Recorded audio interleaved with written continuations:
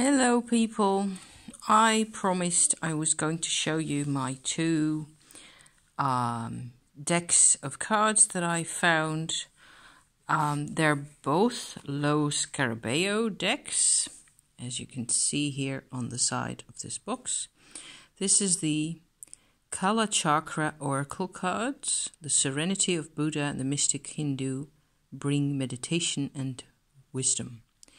Okay, that might be weird translation or something. It is um, uh, probably originally from the 90s, I would guess, by the design.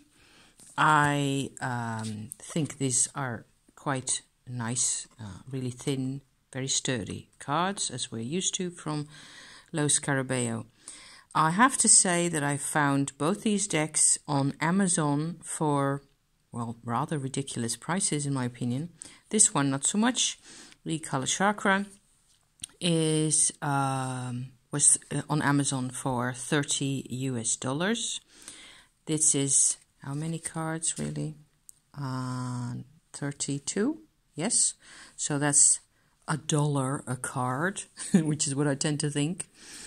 Um, I paid six ninety five euros, and that is seven dollars eighty in American dollars and ten and a half Canadian for you guys out there who use that type of money. Um, yeah, so they come in this little box, very um, you know pleasant to work with. Really, I uh, you can just open it like this. It's got this little uh, split at the back where they come out more easily and they come with a little tiny teeny weeny I should say little white book looks like this where there's actually uh, five languages in or something like that and you get for example uh, number one Maitreya the Buddha of the future reveals the road to be followed and supports your desires so Number two, Siddhartha. There he is with his um, food bowl, I suppose, beggar's bowl.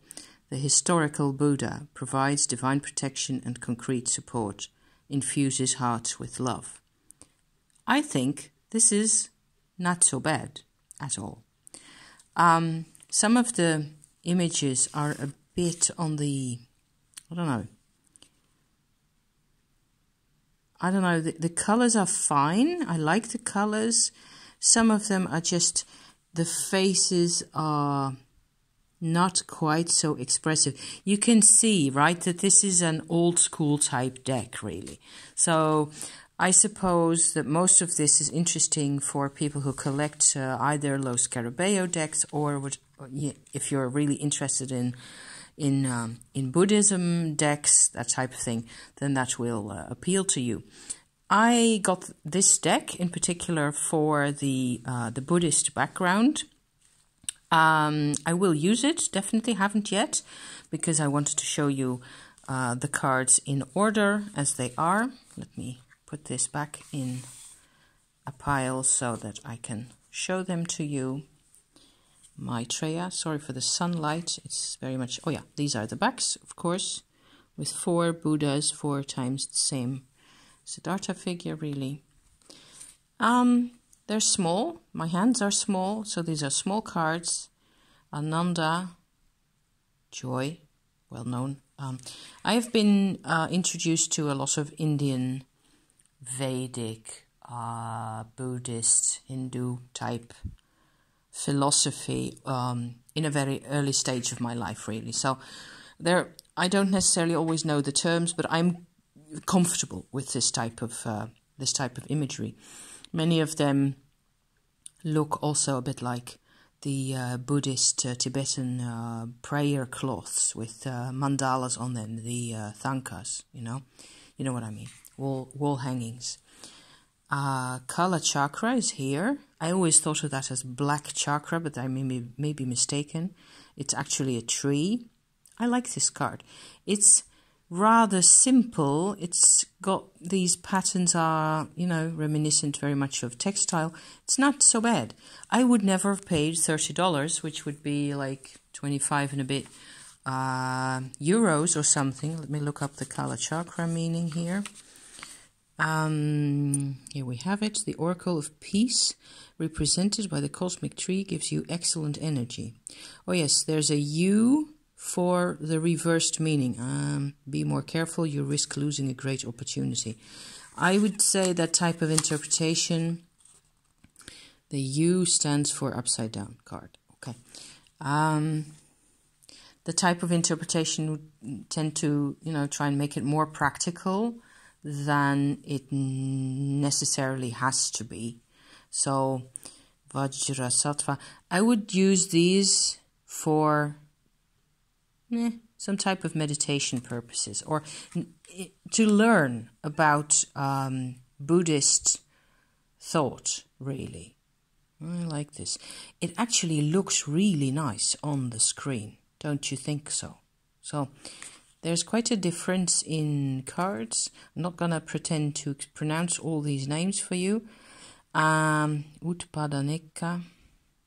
I am I'm suspicious of this spelling because Lo Scarabeo is Italian and that Eka or Echia is uh, an ending of place names in Italy as well. So the spelling may well have been influenced by um, well, of course, they didn't use our type of lettering when uh, these were originally um, thought of. A dancing goddess.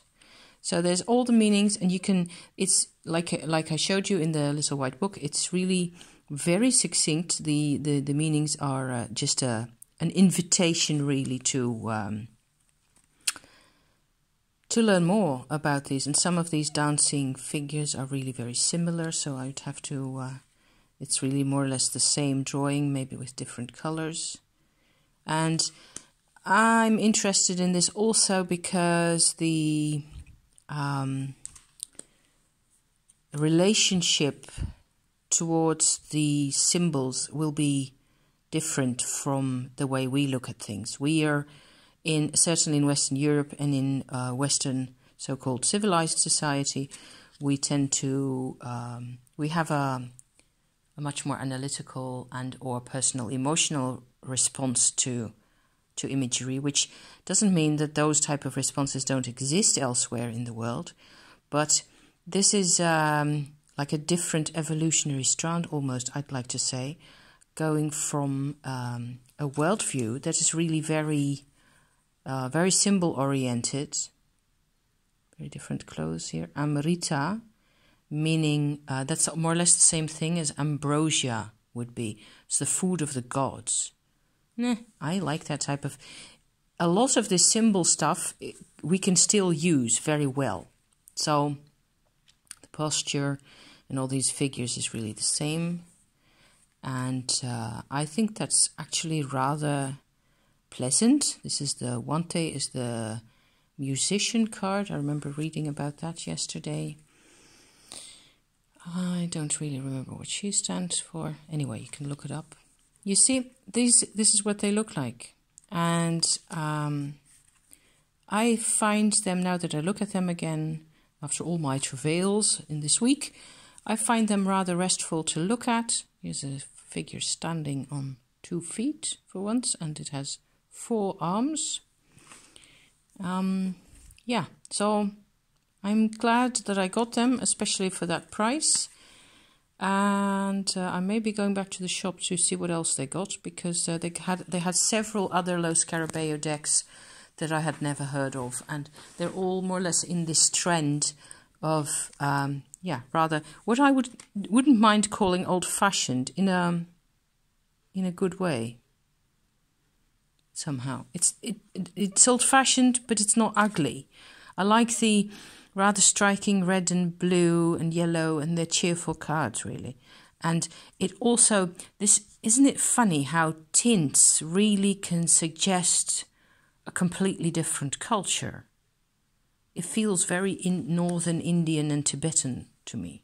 Mountains and markets and yeah, I don't know. Um, even China, Chinese influence more arms, what looks like really fancy leggings. Didn't they tell you that the stripes only are slimming in the vertical direction. No, they didn't. Lots of symbol stuff. See all those shells? What are they? Are they just, uh, maybe they're tassels, not shells. Can't tell. I have to look it up. So I like it that there's this all this stuff going on. This is actually more or less the same figure, but she's red. Marishika. Lots more to learn. So there they are. I hope you like these. And uh, obviously there's a distinction in the standing many armed, six armed, or what is it, eight armed figures on the one hand, and the dancing, um, yeah, normal two armed figures. And then there's the uh, the sitting Buddha and Siddhartha and Maitreya. So there, yeah, it, it, looks almost like there's more of a system to it. And of course, we have the um, Ananda card, the couple on the animal's back, and the tree. And then there's another sitting figure, a couple of them. Okay, so I edged the lot in the same yellow. I had a marker of that yellow tint and that did a lot of good to this little deck. It's um, it just became suddenly it becomes something uh, really uh, like it's been I don't know like it's worth um, a bit more now. When it comes out of the machine, it's just not. It just has these bald, naked, this nakedness that just begs for color to be put on the sides of the cards. There you go. I hope you like my Kala Chakra deck. Um, on to the next one, the uh, cards of Nostradamus. There's more to tell about that. Thank you for watching. See you soon. Bye bye.